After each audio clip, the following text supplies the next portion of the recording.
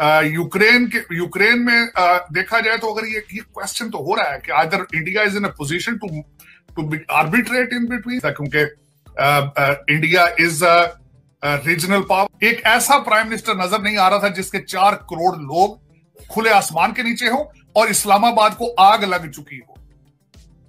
इस्लामाबाद जल रहा हो और उसका प्राइम मिनिस्टर इस तरह लोगों के साथ मिल रहा हो कि हु केयर्स तो ये मैं, मैं, उनकी जगह होता शलवार की मीज में जाता नीचे चप्पल होती वो भी टूटी फिर ऊपर तीन बटन में खुद तोड़ लेता अपने। क्योंकि मैं मांगने जा visit external affairs minister India doctor Jaishankar का हो रहा है इस वक्त रशिया में वो गए हैं। तो इसको बड़े कहा जा रहा है सिग्निफिकेंट विज़िट क्योंकि वो रशिया यूक्रेन वॉर को लेकर के डॉक्टर जयशंकर का जो विज़िट है उसको आप कैसे देख रहे हैं? क्या वो जो बात की जा रही है कि ये बहुत इंपॉर्टेंट है इसमें कोई कोई मीडिएशन का किरदार?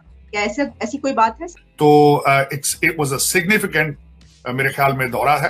It was received very well Jaishankar साहब का ये दौरा, एक तो मैं समझता हूँ ये अमेरिका को जवाब है, बिल्कुल एफ़ सिक्सटीन का पैकेज देने का अमेरिका का, उसको उनको, उन्होंने अल्टीमेटली उन्होंने भी तो काउंटर करना था कि what are are option are दूसरा आपका शबाज शरीफ साहब का दौरा चाइना का अल्टीमेटली उन्होंने भी जाके उसको काउंटर करना था, एक उसका।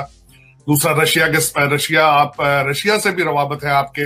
रशिया से आप ग्रेन लेने के बारे में जो सोच रहे हैं, उसके हवाले से भी। और यूक्रेन के, यूक्रेन में देखा जाए तो अगर ये क्वेश्चन तो हो रहा है कि other India is in a position to to arbitrate in between क्योंकि इंडिया इज़ रीजनल पावर बहुत बड़ा डेलीगेशन साथ लेकर गए। आपसे दो घंटे पहले तकरीबन उन्होंने प्रेस कॉन्फ्रेंस की, वहाँ के वज़ीर खारजा के साथ। उस डेलीगेशन में वो एग्रीकल्चर को भी साथ लेकर गए मिनिस्टर ऑफ़ एग्रीकल्चर उसके बाद टेक्नोलॉजी और एक बहुत बड़ा लार्जर जो था उनका डेलीगेशन था। और जिसमें उन्होंने प्रेस कॉन्फ्रेंस में कई चीज़ों को सामने रखने की कोशिश की। डार, आपने नया एक ट्रेंड देखा होगा कि इस वक्त भारतीय जो भी हाई कमांड होती है टीयर वन के जो लीडर हैं, वो डायरेक्टली पाकिस्तान का नाम नहीं लेते।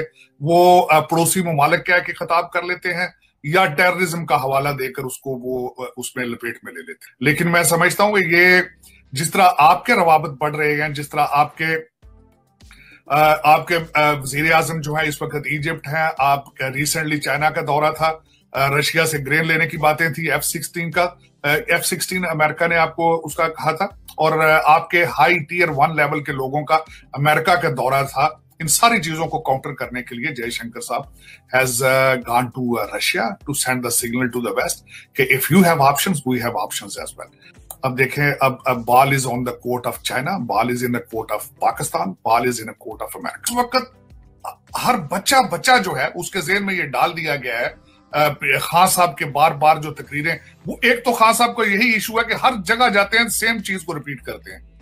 तो वो कर करके उन्होंने हर बच्चे बच्चे के ये डाल दिया है जहन में कि आपकी आर्मी आपके खिलाफ है। आज जो कुछ भी हो रहा है, ये आपकी आर्मी कर रही है। और आप एक वो स्टेट हैं जिसके पास सिर्फ़ सात आठ बिलियन डॉलर फॉरन रिज़र्व है। एक ऐसा प्राइम मिनिस्टर नज़र नहीं आ रहा था जिसके चार करोड़ लोग खुले